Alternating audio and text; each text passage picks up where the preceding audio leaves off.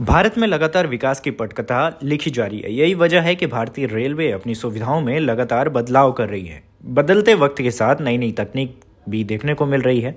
अब रेलवे ने जनता के सामने एटीवीएम मशीन की सौगात दी है। भारतीय रेलवे ने इसका ट्रायल यूपी के स्टेशनों से शुरू कर दिया है। अब बड़ा सवाल यह है कि आखिर कैसे काम करेगा? क्या है तकनीक? तो चलिए इस वीडियो के माध्यम से आपको बताते हैं। रेलवे शुरू से ही देश की लाइफलाइन रही। वजह देश के लोगों का रोज़मर्रा के दौर में इससे सफ़र करना है। बीते सालों से रेलवे में बदलाव अब काफ़ी देखने को मिल रहा है। जहाँ पहले समय की दिक्कत होती थी, वहीं अब रेलवे ने जनता के समय को बचाने के लिए स्टेशनों को अपग्रेड कर दिया है। अब रेलवे ने इसके साथ ही आधुनिक तकनीक पर भी फोकस किया है।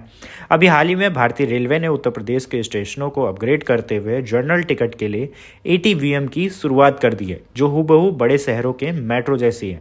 अक्सर देखा जाता था कि जनरल टिकट के लिए लोग भीड़ का हिस्सा होते थे, लेकिन अब इस तकनीक की मदद से हिस्सा कम होंगे।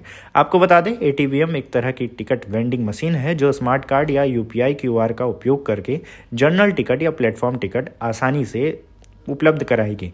इस तकनीक से न सिर्फ़ भीड़ भाड़ से नजात मिलेगी, बल्कि अगर आपके पास कैश नहीं है तो ऑनलाइन के माध्यम से भी इस सुविधा का लाभ उठा सकेंगे। आपको ये भी बता दें, अगर आप मशीन का उपयोग नहीं कर सकेंगे तो इसके लिए वहाँ पर एक फैसिलिएटर की भी नियुक्ति है, जो आपको टिकट लेने में मदद करेगा। मिली जानकारी के मुताबिक, फ़िलहाल ये सुविधा यूपी के 28 स्टेशनों पर शुरू की गई है। इसके साथ ही इसमें प्रयागराज मंडल के 23 स्टेशन शामिल किए गए। अभी के लिए इतना ही, फिर हाजिर होंगे एक और नई खबर के साथ।